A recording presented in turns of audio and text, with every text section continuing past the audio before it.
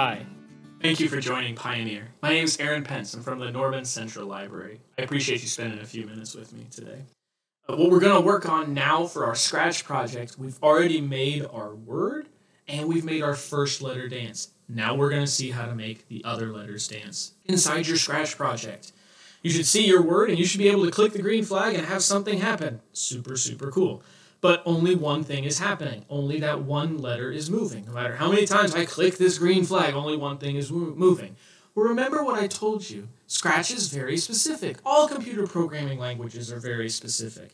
And whenever you tell them to do something, that's the only instructions they have. If you don't tell it to do something, it has no idea how to do any of the rest of it. So here's how we give instructions to the rest of it. The way this had worked last time is I had my O selected. Whenever I had clicked to add my letters, it had added an H and an E and an L and an L and an O. The last letter I added was the O. So the O remained selected down in my sprites area in the bottom right. It's kind of hidden by the add a sprite button, but you can see it if you look carefully. See the little O right there? That O is highlighted in blue.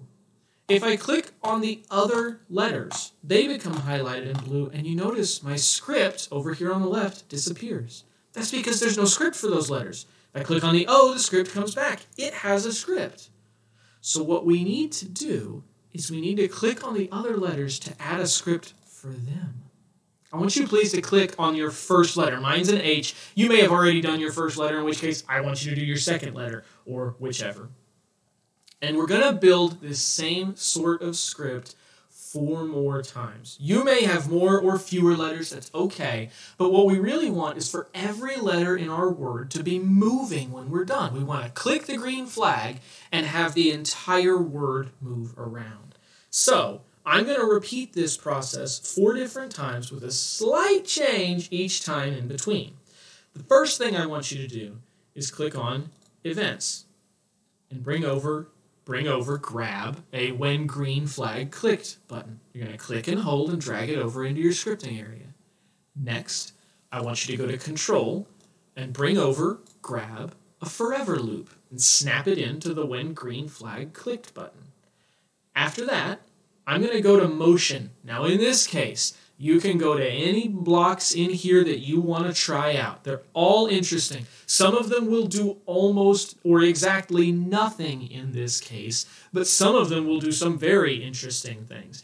If you put in point in direction 90, for example, nothing will happen. Watch, if I click my green flag and run it, my O spins around wildly, excitingly, and my H does nothing. My H is actually doing stuff. It is constantly pointing in direction 90. It is constantly pointing over to the right side of the screen. That's just not very interesting because it keeps pointing there over and over. I'm going to click the stop sign next to the flag. That's how I keep stopping these scripts when I don't want them to run for a second. And whenever I'm doing my coding in Scratch, I always stop my program in between making changes. Now what I'm going to do is I'm going to throw away this block. It wasn't very interesting. Don't like it. I'm going to change it. You can click and hold on the block and pull it away.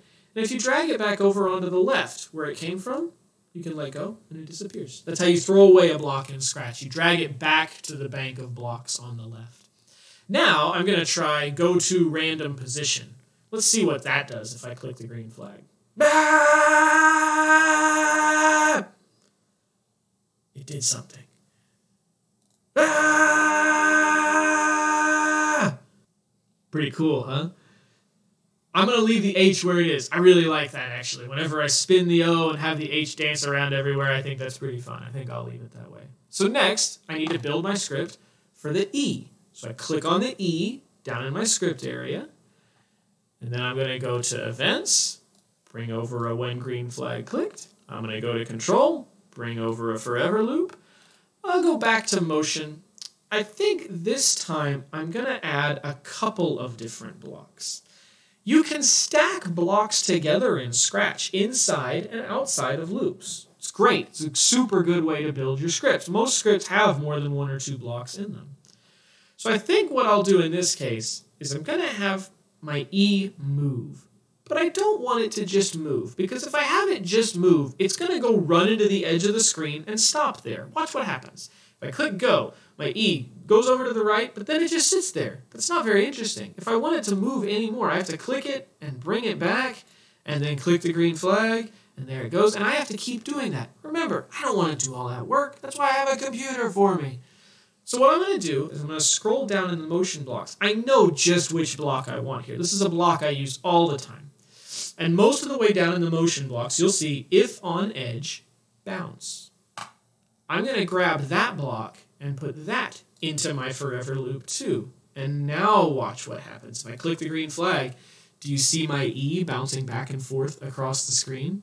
Isn't that great? Just what I wanted. I don't want it to stop. I want it to keep moving over and over and over. And if I let it drive into the edge, it will just stop there. But the if on edge bounce block helps. Also, notice that I've got two blocks stuck together in my loop here. Move 10 steps, and if on edge, bounce.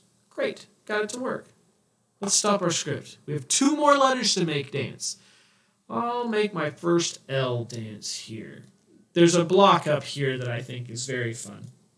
Is the glide one second block. You can make it glide to specific positions, or you can make it glide to just a random spot on the screen. I think that's where we'll start, is by just using the glide one seconds to random position block. So remember, go to events, get your green flag clicked block, go to control, bring out a forever block, go back to motion, grab the glide one seconds to random position block, put it in there, and click the green flag. And now my L is bouncing wildly around the screen. Great. Maybe not as wild as the H, but still a little bit wacky. The last block we need to change is the L you have a lot of options here. Remember, I'm just picking stuff sort of at random, and you don't have to pick the same ones I'm picking. If you want to make your H spin around and you want your O to get big and small and all that, you go right ahead and do it. I think that's a great idea. I'm just picking some easy ones that are good blocks to start with. I would encourage you to spend some time after this video exploring what the different blocks do. Some of them do nothing, some of them do a lot.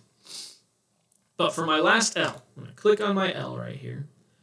I'm going to go to events. I'm going to bring out when green flag clicked. I'm going to go to control. I'm going to bring out forever. And let's go back to motion. And I think that in this case, I'm going to have it go to. But I'm going to change this block. This is cool. Bring out the go to random position block and set it inside the forever loop. After that, if you just click go, the program will run and your L will spin around and it'll go exactly like the H is going. It won't go to the same spots, but it'll bounce around just as wildly. But notice that this random position part of the block looks different. You see that sort of a little darker bubble with an arrow? That means you can change it. You don't have to leave it sitting that way. If you click the arrow under random position, you can change this to mouse pointer. You can change it to a lot of stuff, but we can change it to mouse pointer. Watch what happens now if I click the green flag. You're not going to see anything at first. The L is going to dart into the corner because it's trying to get to my mouse pointer and it's trying to get there over and over and over again. But as I move my mouse around, watch what this L does. It follows me. So I can make it loop around the O for a minute, or I can make it follow the E, whoa, dodge him, or I can make it bounce around like the H, whatever I want it to do, because I'm the one controlling it. I told it to follow my mouse pointer forever and ever and ever. Pretty cool, huh? So there you go you have made your word dance around. That's great work. Please go explore. There's a lot of cool stuff inside Scratch that'll help your word dance around in more interesting ways. The next thing we'll do is we'll learn how to reset our word to get it back exactly where we want it to start out so it just says hello. And then after that, you get to make your own dance party. Thanks a lot. See you soon.